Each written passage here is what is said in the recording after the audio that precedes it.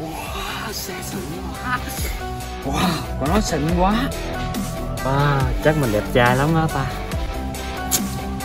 Trời ơi, công nhận mình giống diễn viên Hàn Quốc Song Joong Ki quá. Wow, Để lên chạy thử coi. Chạy thử coi.